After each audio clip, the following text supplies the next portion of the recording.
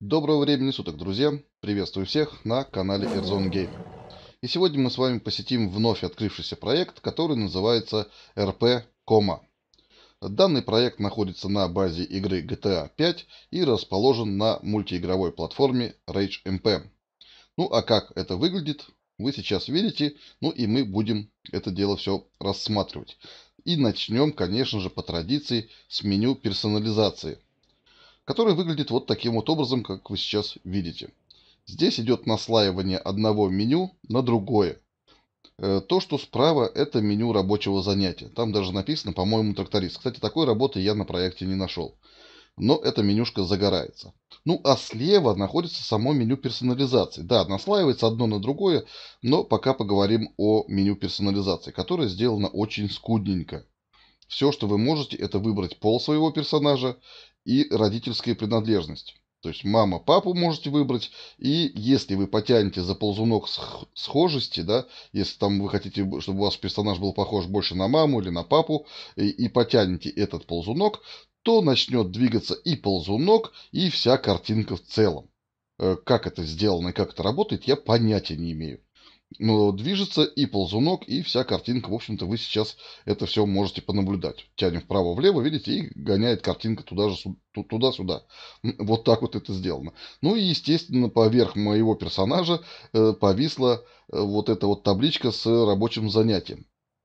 Зато можем познакомиться, как это выглядит на этом проекте. Вот так вот это сделано. Э, я поковырялся в группе ВКонтакте и увидел, что еще месяц назад люди делали скриншоты того, что эта табличка загорается и не гаснет. Э, месяц назад. Я зашел сейчас, и вот, пожалуйста, э, как бы все, что сделали разработчики, сейчас перед вашими глазами. То есть она как не гасла, эта табличка, которая вообще непонятно откуда взялась, так она и не гаснет. Э, не очень дружелюбное э, приветствие этого проекта. Не очень хорошо он встречает новых игроков. Я бы сказал, наверное, так. Начинается все с каких-то косяков. Опять же таки, проект находится в ОБТ. Ну как же, как же без ОБТ? Как же любят у нас называть все, все что не смогли сделать, э, ОБТ. Ведь нельзя же, да, на первоначальных порах вот это вот обнаружить и исправить. Нужно это называть открытым бета-тестом. Без этого же никак, правильно? Ну вот, так что заходим на проект и любуемся на эту табличку, которая так и не погаснет до того момента, пока мы не перезайдем. Ну что ж, э, придется все-таки перезайти, потому что э, смотреть на этот проект через призму вот этой вот таблички, ну это дело такое. Поэтому давайте перезаходить. Надо, наверное, сказать, что в моей практике перезаход на первых минутах появления впервые в моей жизни. Ну и перед э, перезаходом, да, давайте посмотрим, а что же здесь по карте. А карта это рыдага. Это обычная старая урезанная рыдага, э, которую, в общем-то, мучают уже не один раз. Я об этом говорил. Видно уже по оформлению этой карты. Да, поменяли иконки, но суть рыдаги не изменилась. Это старый урезанный Redage. Э, в общем-то, ну, а чего еще будем от этого проекта ожидать, если уже по карте понятно, что проект не самобытный. Это обычная старая рыдага. Ну ладно, сейчас будем перезаходить, потому что табличка никуда не денется. И надо с этим делом как-то бороться. Ну и, наверное, точно так же я должен добавить, что просто выход из игры не помогает. Меню выхода зависает наглухо, и без волшебных кнопок Alt-Ctrl-Delete ни хрена не выйти из игры. Поэтому вот такая вот у меня сложилась ситуация на первых минутах этого проекта, который, конечно же, в ОБТ. А для меня действительно остается загадкой, почему же у нас так принято всю свою рукожопость выкладывать на показ и называть это ОБТ, про который я не раз говорил, что у аббревиатуры открытый бета-тест ОБТ есть своя терминология. Это предрелизное состояние проекта, на котором выявляются мелкие изъяны, которые не влияют на игровой процесс. Давайте же посмотрим, какие изъяны здесь есть. Ну и вот что я увидел после перезахода на данный проект. А первым делом я открыл меню персонажа. Ну, э, вот что я увидел в инвентаре. Во-первых, есть разделительные полосы, да, которые делят вот эту вот менюшку на некоторые категории. Так вот, одна из полос, например, нахлестывается на то, что у меня находится в инвентаре. Ну и сам инвентарь. Во-первых, очень мелко. И посмотрите, сколько у меня уже нагружено всего в инвентаре, да? Но через какое-то мгновение все это куда-то пропадет. Что это, почему так, не знаю. Ну и посмотрите на то, как это выполнено, да? Все очень-очень мелко. Почему вы экономите вот это вот место? Вы оплачиваете э, по сантиметрам свой монитор, я не понимаю, почему так. Столько места пропадает и такие мелкие иконки. Почему? Зачем? Неоднократно задаюсь этим вопросом и постоянно наталкиваюсь вот на то, что вы сейчас видите. Даже сдвинуть вот этот блок с инвентарем чуть правее не догадались. Ну или эту разделительную полоску сдвинуть чуть-чуть левее тоже не смогли. Я лично никак не могу назвать это ОБТ. Действительно, но если вы не понимаете, что такое ОБТ, наберите в поисковике или в Википедии и почитайте, что же такое ОБТ, открытый бета-тест. А это, э, я считаю, что это просто демонстрация того, как не надо открывать проекты. Демонстрация косяков, какие можно встретить на первых минутах появления на данном проекте. Но это точно не ОБТ. Ну ладно, движемся дальше. И дальше у нас точка аренды транспорта. Есть мопеды, есть вот такие вот автомобильчики. Денег дается очень мало. Стартовый капитал, вы его сейчас можете видеть. Он нарисован над мини-картой. Ну и вот стоимость автотранспорта. По экономике у меня вообще есть отдельный ряд претензий, но это, я думаю, даже рассматривать я не буду. Просто по той простой причине, что это не уникальный, не интересный проект, а просто задрюченная рыдага. Но надо сказать, что есть э, на этом проекте такой недоквест. То есть первый бот нас встречает в аэропорту, посылает к следующему боту, который стоит возле э, мэрии. Второй бот, который возле мэрии, говорит, иди и купи э, сим-карту. Э, вот, э, покупаем сим-карту и возвращаемся обратно к этому боту. И он вам говорит, ну а теперь иди устройся на работу. Вот и вся квестовая линейка, которая есть на этом проекте. Поэтому больше к ней обращаться не будем. Ну и как это выглядит, мы сейчас, в общем-то, видим.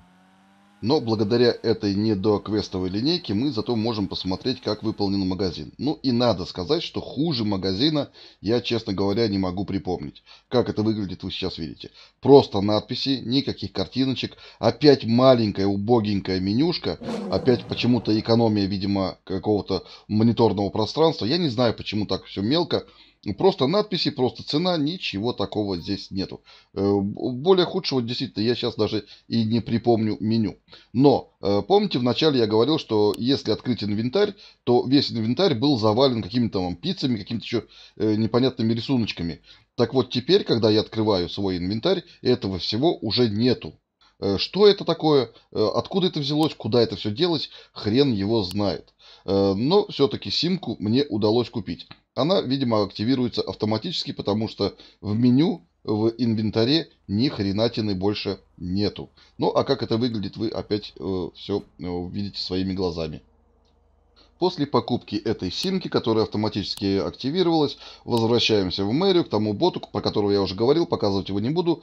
Ну и заходим вовнутрь. Ну а внутри что можно увидеть на э, задрюченной рыдаге? Естественно, меню работ, которое уже ну, действительно вызывает какие-то рвотные позывы. Э, не знаю, какое у вас отношение к этим рабочим занятиям, я их уже видеть не могу. Ни электрика, ни газонокосильщика, ни все из этого списка. Поэтому показывать их я в очередной раз не буду. И кому интересно, зайдите, посмотрите, как это выполнено. Я, как только увидел эту менюшку, она даже не переделанная. Вот какая есть. Кстати, она еще и баганная, потому что она автоматически срабатывает. И если вы хотите выйти, она отключается и опять срабатывает. Отключается опять срабатывает.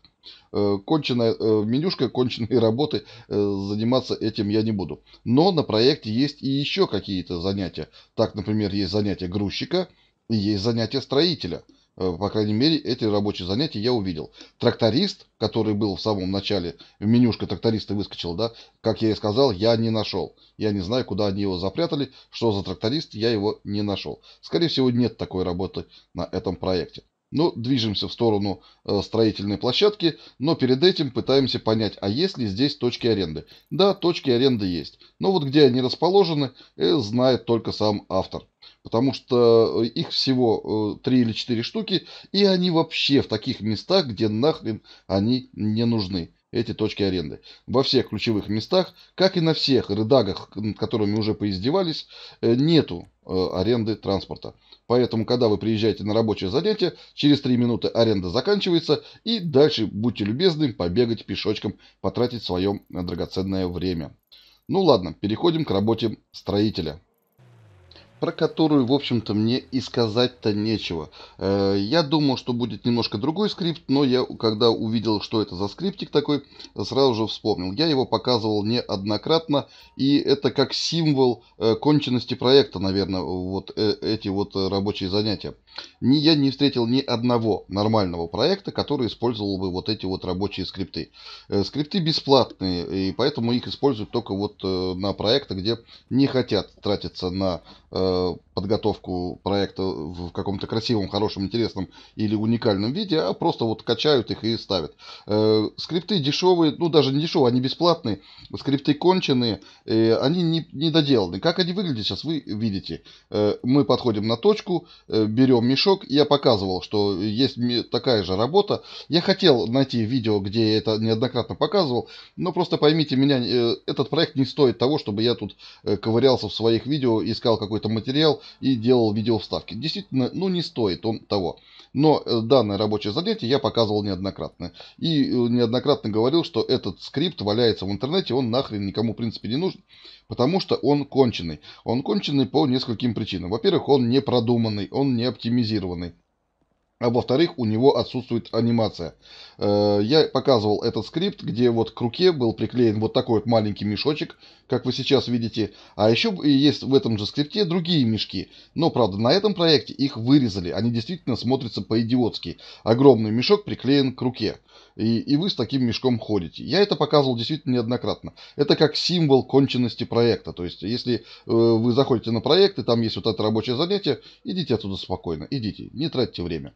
Так вот, здесь эти э, скрипты стоят. Естественно, в глаза бросается то, что у авторов нету навыков, они не могут ничего сделать с этим скриптом. Э, здесь нету, видимо, скриптеров, потому что его надо разбирать. Скрипт надо разбирать, переделывать, наклеивать на него хорошую, красивую анимацию, э, менять положение предмета, менять сам предмет, расположение этого предмета, э, накидывать грамотную подходящую анимацию. Ну, а то, что вы сейчас видите, вот то, что вы видите. Это действительно бесплатный скрипт, который валяется в интернете и можете скачать любой из вас. Э, он здесь присутствует. Вот такое вот рабочее занятие. По деньгам и по тому, как это сделано, я тоже уже показывал. Да, оформление здесь поменяли. Но принцип этого скрипта остался все тот же. Э, есть три категории, э, все эти категории надо проходить. Чтобы получить первый уровень, вам надо пробежать 250 точек.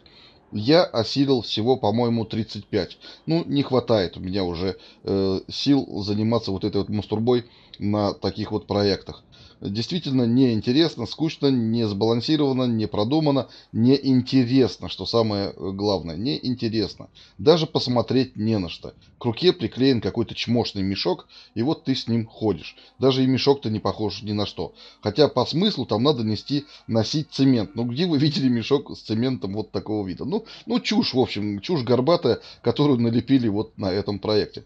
Э, долго, естественно, я этим позаниматься не смог. Но, как я и говорил, заканчивая рабочее занятие свое, да, заканчивая смену или там, как это хотите, так и называйте, да, э, мы отказываемся от рабочего занятия и дальше, как я и сказал, пешком. Точек аренды нету. То есть они есть, но где они? И до них столько надо бежать, что нету никакого смысла. Гораздо проще бежать уже в том направлении, куда вам надо э, добраться. Поэтому э, начинаем бегать пешочком. Но, когда я побежал с этого рабочего занятия, я наткнулся вот на такую вот хрень. Вы можете заметить, что я стою посреди дороги, а у меня написано «нажмите букву Е» для взаимодействия. И вот таких вот мест я нашел как минимум 4 на всей карте. Э, просто идешь, идешь, и вдруг раз, Нажмите букву Е для взаимодействия. Что это такое? Я хрен его знает, если честно. Просто каких-то триггеров накидали и забыли их, видимо, убрать, почистить. Триггер срабатывает, но взаимодействия нету. Ну, вот такая вот э, ситуация на данном проекте. Опять же таки, да, это на стадии разработки-то нельзя же выявить. Конечно же, нельзя. Но надо открывать ОБТ и мучить игроков. Как у нас это принято уже неоднократно я показывал. Ну ладненько, двигаемся дальше. А дальше я просто для того, чтобы убедиться, что это старая задрюченная редага, э, прошелся мимо работы курьера. Но здесь он называется почтальон. И вот э, вы видите, что он располагается в том же самом месте, где и когда-то располагался на э, проекте Red Edge. То есть в прачечной. Но называется он почтальон. И даже не переведены точки, как видите, на английском языке. То есть это совсем старая ранняя версия редаги. Ну, э, устроиться на него мы не можем, потому что нужен второй уровень, а я даже первого получить не смог, у меня нулевой уровень. За все это время, проведенное на проекте, я так и не смог э, хотя бы первый уровень апнуть. Есть еще работа курьера, но она тоже, э, в общем-то, со второго уровня. Как она выглядит, я не знаю. Но я просто думаю, что это Ctrl-C, Ctrl-V. То же самое на мопедке будете возить какие-то посылки. Вряд ли здесь что-то будет уникальное. Но, к сожалению, посмотреть на это я не смог. То и другое рабочее занятие требует второго уровня. А получить его не так просто. Ну и, соответственно, движемся дальше, а дальше у нас рабочее занятие, которое называется грузчик. И данный скрипт грузчика идет всегда в купе с тем самым скриптом настроителя выглядит точно так же э, неадекватно и чмошно, как и работа строителя. То же самое, один в один. Точка А, точка Б, но здесь хотя бы в одной плоскости, в отличие от работы строителя, где надо бегать еще и по этажам. Но проблемы все те же. Анимации отсутствуют, и к руке приклеивается вот такой вот, как вы сейчас видите, агромедный ящик.